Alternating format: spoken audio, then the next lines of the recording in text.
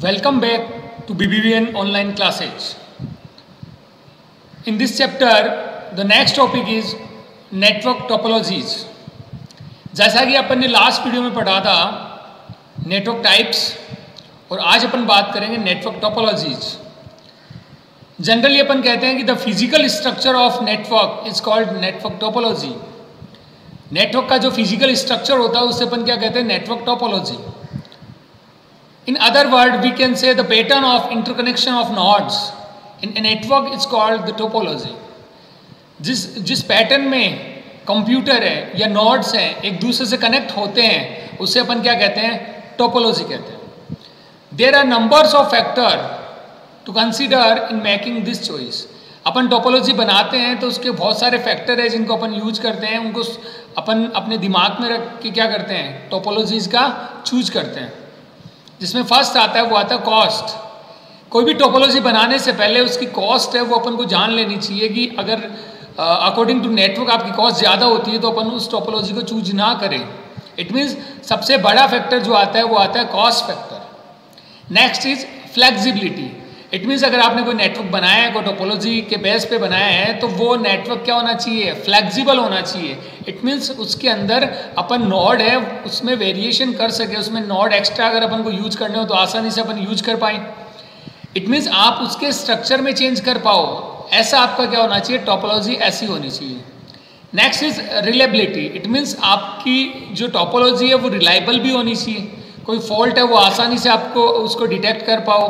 तो कहने का मतलब क्या हो गया? ये तीन फैक्टर है, सबसे ज़्यादा मोस्ट इंपॉर्टेंट फैक्टर है, जिससे अपन किसी भी टोपोलॉजीज का चयन करते हैं। Then next is point to point link before we talk about the topologies in details let us learn about the point to point link. Then a point to point link or p2p link provide a path from fixed point to another. It means point to point link क्या कहता है? ये path provide करता है, एक communication channel provide करता है, जिससे one location to another data send किया जाता है। ये वायरलेस भी हो सकता है वायर्ड भी हो सकता है। इट मीन्स एक ऐसा पाथ होगा, एक ऐसा वे होगा, जिससे अपन अपने डेटा को नेक्स्ट डेस्टिनेशन पॉइंट तक अपन उसको सेंड करेंगे। तो ये अपना point to point link then first topology is star topology in तो in this topology consist of a central node to which all other nodes are connected by a single path इसमें क्या होता है कि सारे के सारे कंप्यूटर या अपन कह सकते हैं नॉड एक सेंट्रल कंप्यूटर से कनेक्ट होते हैं, एक सेंट्रल नोड से कनेक्ट होते हैं, जिसे अपन कंट्रोलर या हब भी कहते हैं।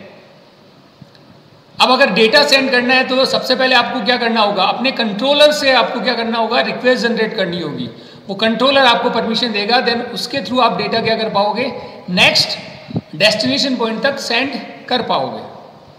इसके अलावा अगर अपन बात करें कि डेटा कंट्रोलर अगर आपके टोपोलॉजी के अंदर है इट मीन्स आपका डेटा है, वो रिकवर भी हो पाएगा in the case of failure अगर आपका डेटा है ट्रांसमिट नहीं हो पा रहा तो अपन उसको क्या कर सकते हैं? रिकवर भी कर सकते हैं।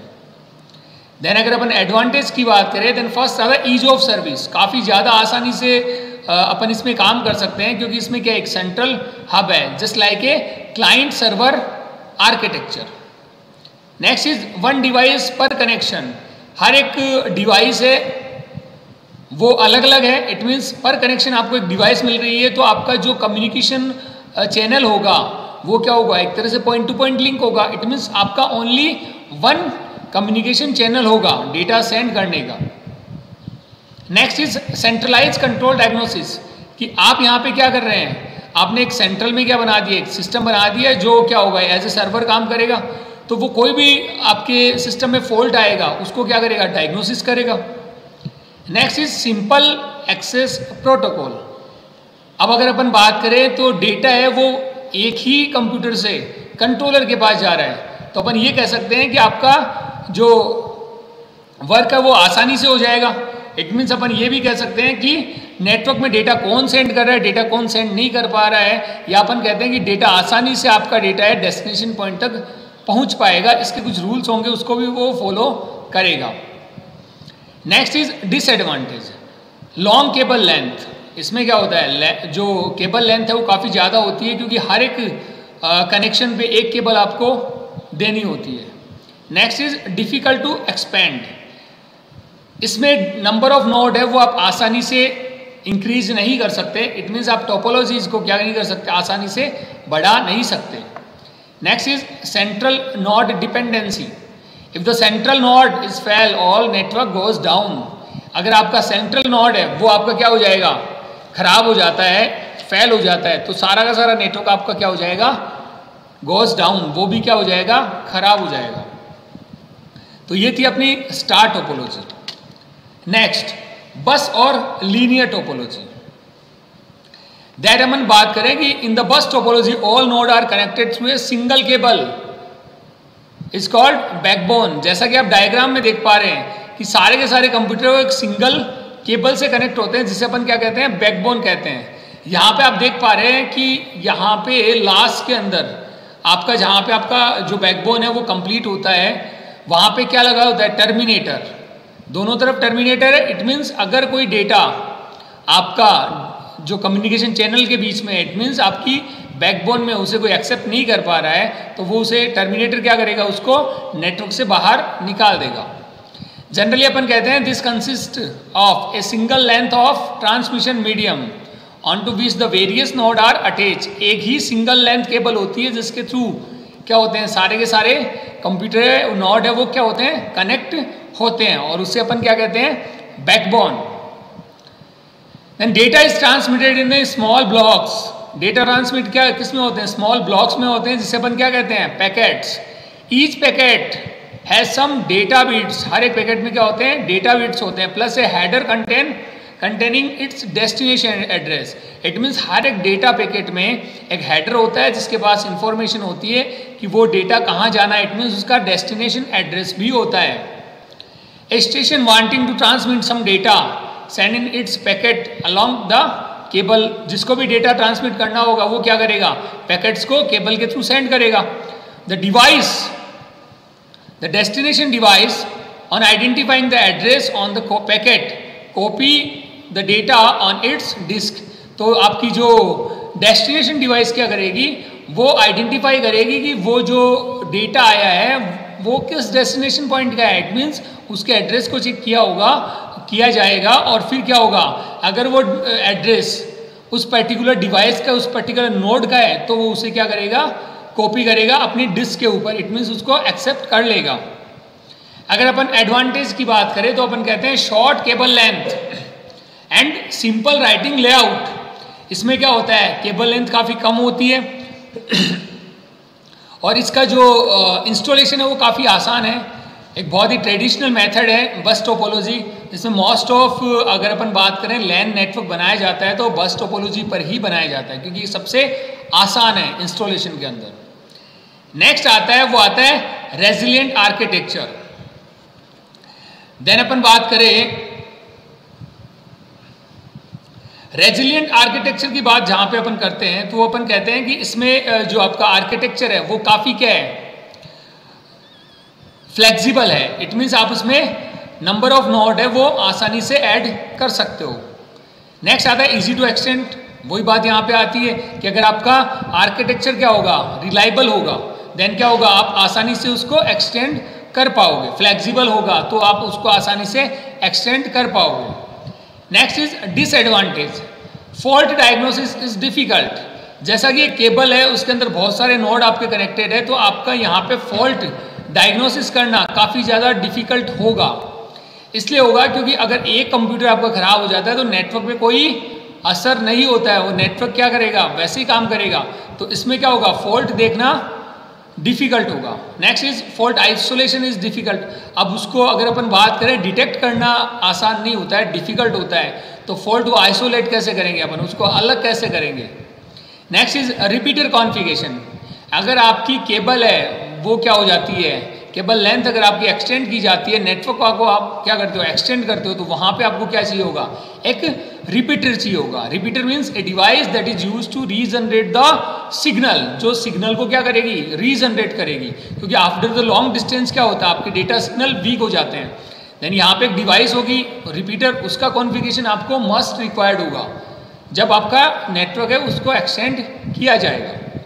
Next is node must be intelligent यहाँ पे नॉड क्या होना चाहिए? इंटेलिजेंट होना चाहिए, इसलिए होना चाहिए, क्योंकि इसमें डेटा पैकेट है। वो किसी पर्टिकुलर जगह नहीं जा रहा, वो सारे नेटवर्क के अंदर घूमेगा। जिस किसी भी डिवाइस का वो जो डेटा पैकेट होगा इट मीन्स जो भी उसका डेस्टिनेशन पॉइंट होगा, उसको ये पता होना चाहिए कि वो डेटा है, वो किससे रिलेटेड है? उस नोड से रिलेटेड है। उस नोड को क्या करना है? उसको एक्सेप्ट करना है। तो यहाँ पे नोड क्या होना चाहिए? इंटेलिजेंट होना चाहिए। तो ये थी अपनी बस टोपोलॉजी, या अपन कह सकते हैं linear topology. Next is ring और सर्कुलर टोपोलॉजी। जैसा कि अपन डायग्राम में देख पा रहे हैं कि in this topology all the nodes are connected in a circle सारे के सारे नोड किसमें कनेक्ट हैं? सर्किल के अंदर कनेक्ट है। Each node is connected to two and only two neighbouring nodes हर एक नोड है। वो अपने दो पड़ोसी नोड से क्या होता है? कनेक्ट होता है। Data is accept to and only to neighbouring node and transmit onward to another it means कि डेटा वो एक्सेप्ट भी किससे होगा? पर्टिकुलर एक से होगा देन नेक्स्ट को ये क्या होगा? सेंड होगा। The data travel in one direction only तो यहाँ पे डेटा जो ट्रेवलिंग होगी, वो वन डायरेक्शन में होती है। From node to node around the ring अब अपन यहाँ पे बात करें, जैसा कि आप डायग्राम में देख पा रहे हैं, मैंने यहाँ पे क्या बता रखा है? यहाँ पे बोथ डायरेक्शन बता रखा है। देखो जनरली क्या होता है रिंग टोपोलॉजी के अंदर वन डायरेक्शन के अंदर डेटा सेंड होता है। पर आप यहाँ पे देख पा रहे हो, यहाँ पे केबल क्या है? दो केबल है। दो केबल है मीन्स आपके डेटा एक केबल है, वो एक डायरेक्शन में डेटा सेंड कर रही है और दूसरी केबल दूसरी डायरेक्शन में डेटा सेंड कर रही है। पर मोस्टली आपकी रिंग टोपोलॉजी के अंदर एक ही केबल होती है। देन अगर अपन बात करें एडवांटेज की तो अपन कहते हैं शॉर्ट केबल लेंथ इसकी केबल लेंथ क्या होती है? शॉर्ट होती है। ज़्यादा केबल का यूज़ नहीं होता है। No wiring closet space required. इसमें वायर के लिए आपको अलग से स्पेस की ज़रूरत नहीं होगी। Suitable for optical fibre. देखेगा यहाँ पे अपन कहते हैं, ये किसके लिए सूटेबल है? ऑप्टिकल फाइबर के लिए। ऑप्टिकल फाइबर यहाँ पे क्या है? केबल का नाम है। जिसमें क्या होता है? डेटा ट्रांसमिशन स्पीड होती है, वो काफ़ी हाई होती है। तो अगर अपन बात करें कि अगर अपन रिंग टोपोलॉजी का यूज़ करते हैं तो यहाँ पे ऑप्टिकल फाइबर केबल है, सबसे ज़्यादा सुटेबल है। साथ ही साथ इसमें अपन ये कहते हैं कि डेटा स्पीड क्या होती है? काफ़ी ज़्यादा हाई होती है and every node is work as a repeater आपका हर एक नोड है एज ए रिपीटर वर्क करेगा तो यहाँ पे क्या होगा? राउटर कॉन्फ़िगरेशन की रिक्वायरमेंट सॉरी रिपीटर कॉन्फ़िगरेशन की रिक्वायरमेंट नहीं रहेगी। क्योंकि डेटा है, वो हर एक नोड पे जाने के बाद क्या होगा? रीजनरेट होगा देन डेटा स्पीड भी हाई होगी। अगर अपन बात करें डिसएडवांटेज की and no failure causes network failure sorry not failure causes network failure it means अगर आपका एक नोड खराब हो जाता है इट मीन्स सारा का सारा नेटवर्क क्या हो जाएगा? खराब हो जाएगा। नेक्स्ट आया डिफ़िकल्ट टू डायग्नोस फॉल्ट यहाँ पर भी अपन ये नहीं देख पा, पाएँगे जल्दी से कि आपका फॉल्ट कहाँ पर आया है। क्यों हर एक नेट नेटवर्क नोड को क्या करना पड़ेगा? चेक करना पड़ेगा। क्योंकि कौन सा नेटवर्क है, उसमें प्रॉब्लम आ रही है, यहाँ पे आप तय नहीं कर सकते इसलिए अपन कहते हैं कि डायग्नोस जो फॉल्ट डायग्नोसिस है, वो काफ़ी ज़्यादा डिफ़िकल्ट होता है। Next is network reconfiguration is difficult अगर आपका एक जगह आपका कहीं फॉल्ट आता है देन आप उसको अगर आइसोलेट करते हो, और देन आप दोबारा क्या करते हो नेटवर्क को रिकॉन्फिगर करते हो तो यहाँ पे ये भी थोड़ा क्या होता है डिफ़िकल्ट होता है। इट मीन्स अपन ये कह सकते हैं कि इसमें भी नंबर ऑफ़ नोड है, उनको चेंज करना इंक्रीज या डिक्रीज करना क्या नहीं होगा, आसान नहीं होगा। Next is a tree topology a variation of bus topology topology is the tree topology अपन ये कहते हैं कि बस टोपोलॉजी का एक और दूसरा रूप क्या है? आपकी ट्री टोपोलॉजी जैसा कि आप डायग्राम में देख पा रहे हैं, यहाँ पर ये डायग्राम कैसा दिख रहा है? जैसे इन्वर्टेड ट्रियो अपन ये कहते हैं the shape of networks is that of an inverted tree इसकी सेप क्या होगी? Just like inverted tree with the central root branching and sub branching to extremities of the network इसके अंदर क्या होगा? यहाँ पे एक केबल होगी। ये जो केबल है, जैसा कि अपन बस टोपोलॉजी में काम में लेते हैं, वैसे ही केबल है इट मीन्स बैकबोन है। और यहाँ पर क्या होते हैं? अलग अलग नेटवर्क है अलग अलग जो कंप्यूटर है, वो क्या होते हैं? कनेक्ट होते हैं। और इनका एक क्या होता है? ग्रुप होता है। इट मीन्स यहाँ पे क्या होता है ब्रांचिंग एंड सब ब्रांचिंग भी होती है। The transmission in this topology take place in the same way as in the bus topology transmission वैसा ही होगा जैसा कि बस टोपोलॉजी में होता है। क्योंकि यहाँ पे क्या कर रही है, एक बैकबोन काम कर रही है। जो अलग अलग जो ग्रुप है, उनको क्या कर रही है कनेक्ट कर रही है। एडवांटेज की अगर अपन बात करें तो अपन कहते हैं it use point to point wiring for an individual segment हर एक इंडिविजुअल सेगमेंट के लिए यहाँ पे क्या होती है? इंडिविजुअल वायरिंग होती है। जैसे कि आप देख पा रहे हैं यहाँ पे, ये आपका हब है। यहाँ से एक पर्टिकुलर डिवाइस है, वो पर्टिकुलर केबल से कनेक्ट है। इट मीन्स यहाँ पे एक ग्रुप के अंदर, एक सेगमेंट के अंदर क्या होगा? इंडिविजुअल वायरिंग होगी। It is supported by several hardware and software vendor इसको मोस्ट ऑफ़ हार्डवेयर और जो सॉफ्टवेयर वेंडर है, वो भी सपोर्ट करते हैं। डिसएडवांटेज की अगर बात करें तो अपन कहते हैं overall length of each segment is limited by the type of cabling use कि यहाँ पे जो सेगमेंट की लेंथ होगी, वो किस पे डिपेंड करेगी? किस टाइप की आप केबल यूज़ करते हो? Next is if the backbone line break the entire segment goes down अगर आपकी बैकबोन फेल हो जाती है, या अपन कह सकते हैं कि जहाँ पे अपन ने अपना ग्रुप बना रखा है सेगमेंट बना रखा है, उसकी केबल अगर खराब हो जाती है इट मीन्स आपका पूरा का पूरा सेगमेंट है, वो क्या हो जाएगा? खराब हो जाएगा। Next is it is more difficult to configure and wire than other topologies अपन ये कहते हैं, इसमें भी जो कॉन्फिगेशन है, वो डिफ़िकल्ट होता है। क्योंकि और नंबर ऑफ़ जो वायर है केबलिंग कॉस्ट है, इसमें भी क्या आती है? ज़्यादा आती है। तो ये अपनी tree topology next is mesh topology in this topology each node is connected to more than one node to provide an alternative route यहाँ पे क्या होता है कि जो आपके नोड है वो क्या होते हैं कनेक्ट होते हैं एक दूसरे से पर साथ ही साथ वो अल्टरनेट रूट भी प्रोवाइड करते हैं। इट मीन्स अगर आपका डेटा है वो एक रूट से नहीं जा रहा रूट अगर बिज़ी है तो ये क्या करेगा डे, जो डेटा को नेक्स्ट रूट है या अनोदर जो जो रूट है उससे क्या करेगा सेंड करेगा।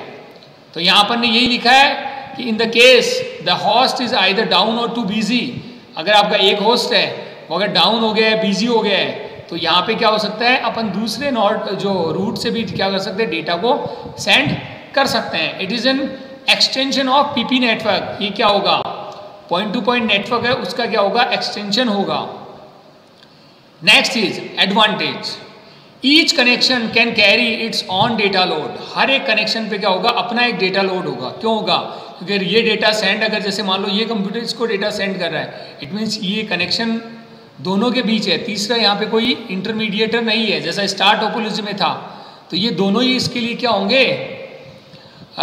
रिस्पॉन्सिबल होंगे। नेक्स्ट आता है it is robust and provide security and privacy ये क्या है? भी काफ़ी स्ट्रॉन्ग है। इसमें क्या होता है? सिक्योरिटी और प्राइवेसी आपकी क्या होती है? हाई होती है, क्योंकि यहाँ पे एक पर्टिकुलर पाथ है डेटा सेंड करने का। Next is in this topology fault diagnosis is easy यहाँ पे क्या होगा? फॉल्ट को डायग्नोस करना क्या होगा? आसान होगा। Next is disadvantage its installation and configuration is difficult इसका इंस्टॉलेशन है या कॉन्फ़िगरेशन है काफ़ी डिफ़िकल्ट होता है क्योंकि नंबर ऑफ़ केबल ज़्यादा है तो कनेक्शन भी कनेक्शन भी क्या होंगे? ज़्यादा बनेंगे।